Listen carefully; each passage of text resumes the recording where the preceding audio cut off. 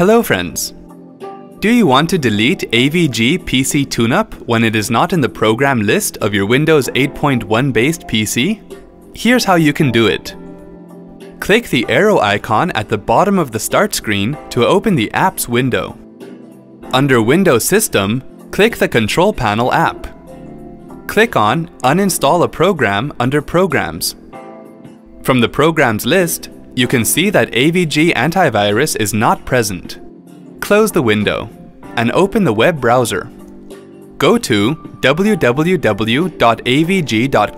forward slash utilities webpage and then, depending upon the Windows version, download the appropriate removal file setup. Wait for the download process to complete and then run the setup file. If prompted, enter the password and then click on Yes on the User Account Control window. Click on Yes to confirm. It will start the uninstallation process and your system will restart on its own. Now AVG PC TuneUp is deleted from your computer. Wasn't that quick and easy? Thanks for watching.